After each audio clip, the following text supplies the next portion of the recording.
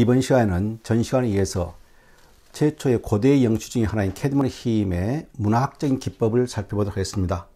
아, 파트 1에서는 어, 주로 이제 그 단어 의미랄지, 그 다음에 어, 발음이랄지, 아, 이런 걸 살펴봤는데요. 그리고 저자인 캐드먼에 대해 살펴봤는데, 이번 시간에 문학적인 기법, 어, 주로 이제 운율과, 두 운자는 운율과, 그 다음에 kenning, 그 다음에 동격, 어, 이러한 것들을 살펴보도록 하겠습니다.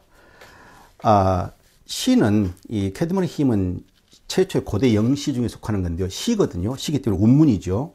시는 산문과 달리 운율을 지니게 됩니다. 아, 7세부터 11세기까지 고대 영시 기간에도 예외 없이 이 운문이 많이 나오고 또 예외 없이, 예외 없이 특정한 운율이 사용되는데 그게 바로 둔입니다. 얼리트레이션. 예, 운율을 지니기 때문에 예, 산문은 이 리듬, 리듬의 패턴이 적어요. 반면 운문, 운문은 이 리드미컬 패턴이 강한 것이죠. 비트, heart beat 같이 말이죠. 아, 그래서 이제 산문은 이 걷는 것에 비유된다면은 운문은 춤추는 것, 댄스에 비유되는 것이죠. 춤추는 것에 비유가 되는 것입니다. 아, 두운은 일상생활에서도 많이 보게 되는데요. 두운은 에, 유명한 그 상표 이름 같은 거 있지 않습니까? 코카콜라랄지, 코, 코, 콜라, 시오, 시오. 그 다음에 미키마우스랄지, M, M 사운드, 미키 마우스. 어, 상표 이름에서도 많이 나오고요. 이 시인들이 시대에 관계없이 이 두운을 많이 사용해 가지고 시적 효과를 많이 에, 사용합니다. 아, 19세기 낭만주의 시인의 그 존 키츠라는 시인이 있게 되는데요. 그 시인의 그 나이팅게일에 부치는 시를 보면은 아주 좋은 둔의 예가 나옵니다. With beaded bubbles winking at the brim. 보면은 beaded bubbles winking at the brim. B, B, B, B 이렇게 나오게 되거든요.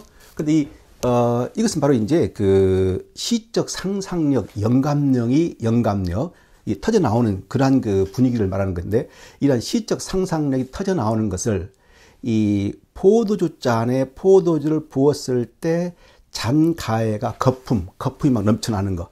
그것과 비교되는 것이거든요. 그래서 이제 그 비사운드의 그 둔을 활용해 가지고 그러한 시적 분위기를 극대화시키고 있는 것이죠. 아, 그래서 이제 이 고대 형식 두는 일정한 그 틀에 맞춰서 진행됩니다. 어, 모든 시기에 그 시인들이 두을 쓰는 예가 있게 되는데 특히 고대 형식은 특정한 룰이 있게 됩니다. 그 룰이 무엇인가요? 고대 형식은 한 행위, 한 행위가 보통 네 개의 강세가 있습니다. 이 강세에도 어, primary 강세가 있, 게 되고, 그 다음에 secondary 강세가 있게 되고, 제1강세, 제2강세, 있지 않습니까? beautiful 하게 되면 강세가 가장 강한 강세가 있고 두 번째, 세 번째 이렇게 되는데 보통 고대영시의 한 행에는 네 개의 강세가 있게 돼요. 강세 있게 되는데 이 고대영시는 두 행이 가운데 중간 휴지를 중심으로 두 개의 반행이 이루어집니다.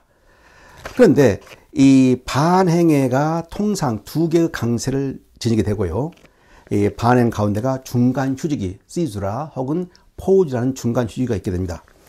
예, 이두 개의 반행이 둔으로 연결되는데 처음 반행의 두 군데 강세 중 가장 강세를 받는 음절의 철자, 자음이나 혹은 사운드, 소리가 다른 곳에서 반복될 때 이것을 어, 두운이라고 합니다. 그래서 이제 이 캐드먼의 hymn 우리가 공부하고 있는 이 캐드먼의 hymn을 중심으로 예문을 보면서 시를 시 행을 보면서 예, 두운을 또 살펴보도록 하겠습니다.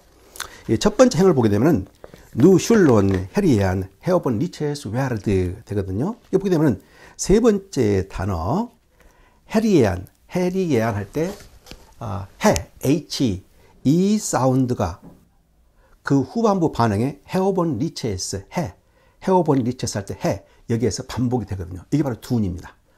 아, 그리고 이제 어, 이 행을 보게 되면은 meotodes meahte ond his modgeþanc 나오거든요. 그래서 이제 M, M, M이 반복되고 있어요. 전반부 반행을 보게 되면 meotod 할때 메. 두 번째 단어 meahte 할 때 메. 이 메 sound가 반복이 되고 있죠. 후반부에 가가지고는 modgeþanc, M-O, 모. modgeþanc 할 때 그 mod, mind, mind라는 뜻의 M자가 반복되고 있습니다. 그러니까 이 경우 같은 경우는 메 sound가 반복이 되고 두운이 되고 그 다음에 M 철자가 또 반복되게 되는 것이죠. 그래서 두는 철자, 같은 철자가 일정한 간격을 두고 반복되는 수가 있고, 그 다음에 사운드, 소리가, 똑같은 소리가 반복될 때 두운이라고 하게 된 것입니다. 그럼 이제 우리가 이제 어떻게 강세가 오는 것을 아느냐 하게 되는데요. 이 경우는 이제 주로 이제 문장에 있어서 혹은 한 행에 있어서 한 구절에 있어서 강세를 받는 단어들, 품사, 그러니까 명사, 형용사, 부사, 주된 동사일 경우 강세를 받게 되죠. 그러니까 have를 할지 비동사 같은 것은 강세가 없는데 특정한 경우를 제외하고는 예를 들면 possess, 뭐 소유하다, cherish, 뭘 소중히 하다 할 때는 그때는 강세가 동사임에도 강세가 들어가게 되는 것이죠. 자, 그래서 이제 여섯 번째 핵을 보게 되면 애체들이 된 all on stelter 이렇게 되는데요. 앞에 ece, eternal, 에, 에 sound가 후반부 오 할 때 오 sound하고 비슷하거든요. 모음인 경우는 같거나 소리가 비슷한 경우에 두운이 형성이 됩니다. 그래서 이제 이 캐드먼 Hymn을 보게 되면요. 전반 총 9행인데 9행 모두가 예외 없이 두운으로 연결이 됩니다. 이거 굉장히 뭡니까? 아주 그 어떻게 보면 정교하고 어, consistent 아주 일정하고 말이죠. 틀에서 벗어나지 않습니다. 그래서 7세기부터 11세기, 11세기까지 고대 영시를 하게 되는데 이 시간 동안에 이 기간 동안에 이루어진 모든 고대 영시는 일정한 이 두운을 따르게 됩니다. 두운이 또 중세 문학에 들어와서 없어지다가 14세기 후반기에 Sir Gawain and Green Knight와 같은 시에서 다시 부활이 되기도 합니다. 아, 그런데 이제 중요한 것은 무엇인가 하니 둔을 맞추기 위해서 같은 뜻을 지니는 동의어를 많이 알아야 됩니다. 그러니까 둔을 자유자재로 사용했다. 고대 영시 같이 이것은 시인의 어휘 능력이 굉장히 풍부하다는 것을 말하게 되는 것이죠. 예를 들면 이제 아, 아가씨가 아름답다. 아가씨가 아름답다. 그러면 아, 아 사운드 둔이 이루어졌습니까? 그런데 아가씨란 단어는 아가씨 말고도 처녀, 숙녀, 뭐, 어, 뭐, 뭐, 여러 가지 여자 뜻이 있겠죠. 그런데 이때 아름답다와 둔을 맞추기 위해서는 반드시 아로 시작하는, 어, 뭡니까, 처녀 아가씨를 넣어야 되거든요. 그러니까 아가씨밖에 없는 겁니다. 그래서 아가씨가 아름답다. 처녀가 아름답다 하게 되면, 어, 아, 아하고 아름답다 아하고 둔이 안, 맞, 어, 안 맞기 때문에 사용할 수 없어 둔 법칙을 어겨지는 겁니다. 그러니까 쉽게 말해서 이제 이 여자, 처녀, 숙녀, 뭐 아가씨가 있게 되는데 두운을 맞추기 위해서는 어떻게 해야 한다? 그 다음 옆에 이웃하는 다른 단어들과 두운을 맞추기 위해서는 그 다른 옆에 있는 단어의 강세를 받는 음절의 철자나 사운드가 같은 것을 줄여야 되거든요. 그러니까 동의를 굉장히 말아, 안 말아야만이 시인이 두운을 적재적소에 사용할 수 있다는 것이죠. 다시 말해서 시인의 어휘 상상력이 굉장히 풍부하다는 것을 알 수 있게 됩니다. 자, 두 번째, 캐닝을 보게 되는데요. 캐닝은 굉장히 흥미로운 그런 그 표현 기법입니다. 어, 고대 영시에서는 캐닝이 굉장히 많이 사용됩니다. 어, 이 역시 고대 시인들의 놀라운 어휘 조합을 볼 수 있게 되는데요. 이 표현 기법이고 어휘 조합이죠. 캐닝은 우리말로 하게 되면은 왕곡 대칭법. 혹은 이제 제가 규명한 것은 묘사적 복합명사. 두 개의 명사 혹은 명사 상당 어구가 들어가 가지고 두 개의 명사가 들어가 가지고 하나의 단일한 뭡니까 의미를 지니게 되는 것입니다. 다시 설명하자면 각각 독립적인 의미를 지닌 두 개의 명사가 합해져 가지고 하나의 단일한 의미를 지니게 된다 이렇게 됩니다. 이것은 이제 고대 게르만족이랄지 그다음에 북구 스칸드나비아 Old Norse랄지 고대 영어 이쪽에서 사용되는 그런 기법 중에 하나가 되겠습니다. 아, 일종의 완곡 어법이며 비유적 표현이며 또 예두른 표현에 속하게 됩니다. 자, 예를 보도록 하죠. 이 고대 영어에 쉽, 배가 있습니다. SHIP. 고대 영어의 배는 SCIP, 쉬프거든요. 그런데 쉬프가 있는데 쉬프를 안 쓰고 이들리다 이렇게 씁니다. 이들리다. 근데 앞에 이드는 파도란 뜻입니다. 리다, 뒤에 부분 리다라는 것은 뭐 가르는 것 이 뜻이에요. 그래서 파도하고 가르는 것, 파도를 가르는 것, 배, 배가 되는 것이죠. 이런 것을 바로 예, 캐닝이라고 부릅니다. 그런데 앞에 파도하고 가르는 것은 전혀 의미상의 어떤 공통점이 없어요. 독립적인 의미를 지닌 두 개의 명사가 붙어가지고 하나의 단일한 의미를 형성한다. 이게 바로 어, kenning이 되게 되는 것입니다. 아, 그래서 이제 또 역시 보게 되면 sæ, sæ, S, ash, sæ가 바다인데요. sea 바다예요. 근데 바다라 쓰는 경우도 있지만은 hronrad, hron rad. 앞에 hron은 고래, rad는 road, 고래의 길 이렇게 변하거든요. 고래의 길, 앞에 고래하고 길은 좀 상관이 없지 않습니까? 그런데 두 개를 엮어서 억지 있게 combine 됐을 경우는 그게 바로 바다가 되는 겁니다. 아, 그리고 이제 hleor berg. hleor berg는 앞에 hleor가 cheek 뺨이거든요. 그 다음에 어, berg란 것은 뒷 부분은 예, 가드, 방어, 방어하는 거. 그러니까 뺨을 방, 방어하는 거. 바로 헬멧. 헬멧. 투구 있지 않습니까? 투구가 되는 것이죠. 그 다음에 이제 또 하나 예를 보게 되면 here sceorp. 앞에 here란 뜻은 battle이에요. sceorp란 뜻은 dress예요. 전장터의 옷. 뭐겠습니까? 갑옷, 아무가 되는 것이죠. 그래서 이제, 그럼 왜 같이 이, 그 단일한 하나의 단어가 있는데 이같이 kenning, 두 개의 복합 명사를 어, 조합해 가지고 표현기법을 쓰느냐. 이 반행에서 요구되는 최소한의 그러니까 운율이 있게 돼요. 어, 강세 운율이 있게 되는데 그걸 구성하기 위해서 이와 같이 캐닝을 썼다라고 우리 학자들이 이제 분석하게 되는 것이죠. 그 다음 이제 C에서 보도록 하겠습니다. 이 패드문의 힘에서 어떻게 적용되느냐. 일행 B에 보게 되면 on riches라고 하거든요. on riches. 앞에 on heaven. 뒤에 rich는 kingdom. 그러니까 heaven, kingdom. 합해가지고 예, 성경에서 말하는 천국, heaven을 말하게 되는 것이죠. 두 개의 다른 의미가 합해져가지고 하나의 천국을 형성한다 이것이죠. 그 다음에 이행에서 보게 되면 네, 모드 예 쌍크 나오거든요. 모드 앞에 모드는 마인드, 예 쌍크는 바로 무슨 뜻인가 하니 어, 예 쌍크는 어, thought 말입니다. thought.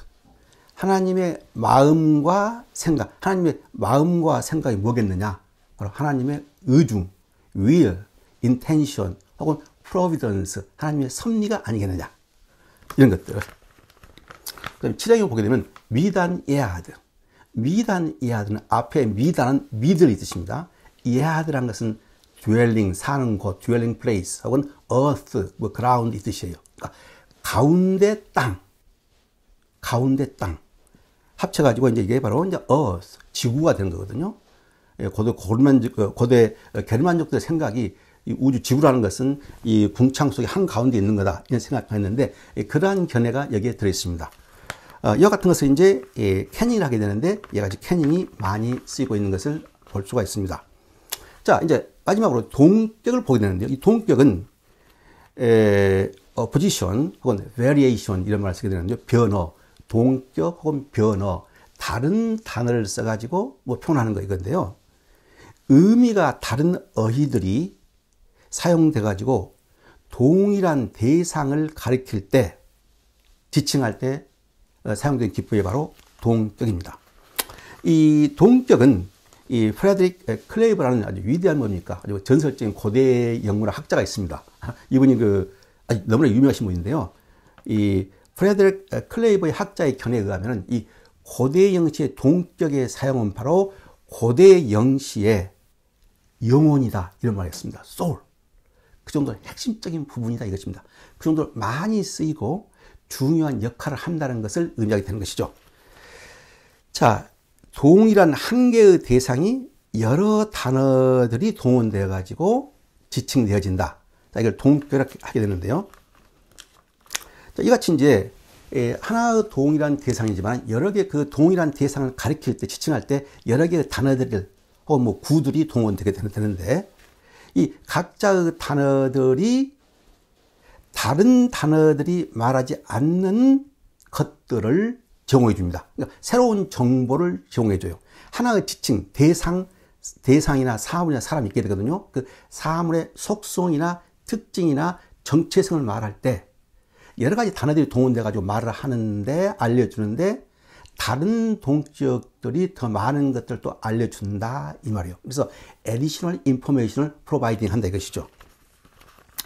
그러면 예, 그래서 이제 동격은 대상의 속성을 설명해주고 더 자세히 설명해주고 그 다음에 예, 정체성을 규명해준다 이런 말 하게 되는데요.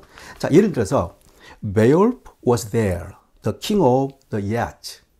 베올프가 그곳에 있었는데 그는 예아츠족의 왕이었다. 여기서 베올프라는 주인공 이름이 나오거든요. 근데 그 베올프가 누군가 하니 예아츠족의 왕이었다. 근데 베올프하고 예아츠족 왕은 의미상으로 봤을 때 독립적으로 봤을 때 하등의 연관이 없는 거예요. 그렇습니까? 그런데 베올프도 동격, 예아츠족의 왕도 동격. 이런 동격이 나옴으로 인해 가지고 어떻게 된다? 베올프 주인공에 대한 이 정체성, 특성이 나오게 되는 것이죠. 그러니까 베올프는 주인공 이름인데 누군지 몰라요. 근데 동격의 사용에 의해서 예하체족의 왕 이거에 의해서 이제 아 베올프가 신분이 왕이구나. 그 족속은 예, 예하척에 속해 있구나 이렇게 된 겁니다. 그래서 이제 이 동격이 사용됨을 이래 가지고 특정한 대상이나 인물들의 속성, 특성 그리고 어, 뭐, 정체성들이 더, 어, 확연히 규명이 되게 되는 것이죠. 예, 그 다음에 이제, 이, 그럼 이제 실제 시에서, 캐드몬의 힘에서 이제 동격이 어떻게 사용되는가를 보도록 하게 되죠. 자, 일행을 보게 되면, 예, 하나님을 지칭하는데 여러 가지 단어들이 나오게 됩니다. 지칭 대상들은 하나님이에요. 창조주 하나님. 그런데 여러 가지 단어들이 나와가지고 그 하나님을 가리키게 됩니다. 첫째, 일행에서는 뭐죠? 헤어본 리체에서 웨하르드, 천국의 보호자. 이행에서는 meotodes meahte, 재는 자의 힘. 삼행에서는 wuldorfæder의 영광의 아버지. 사행에서는 ece drihten 영원하신 주님, 하나님. 오행에서는 하나님을 가리키는 어, 단어가 없어요. 육행에서는 scyppend, 창조자, 만드는 자, 창조자. 칠행에서는 weard, guardian, 가, 어, 뭐, 보호자, 어, 일행과 같지요. 팔행도 사행과 같은 ece drihten 영원한 하나님, eternal fa, eternal Lord. 어, 구행에서는 frea, 이게 됐거든요. 근데 총 구행인데, 팔행에 걸쳐가지고 창조자 하나님이 언급이 되거든요. 그런데 반복되는 걸 제외하고 여섯 개, 일곱 개, 일곱 개 새로운 뭔가 단어들이 동원이 돼요. 근데 이 일곱 개의 동원된 단어들에 의해서 어떻게 되느냐? 하나님의 속성, 특성, 정체성이 더 자세하게 규명이 된다 이거예요. 그래서 이제 동격의 사용이라는 것은 소설로 치게 어, 소설로 어, 우리가 이제 보게 된다면 소설의 성격을 분석할 때 어떤 정보가 필요할 거 아닙니까? 그러한 요소들을 제공하는데 커다란 역할을 한다 이것이죠.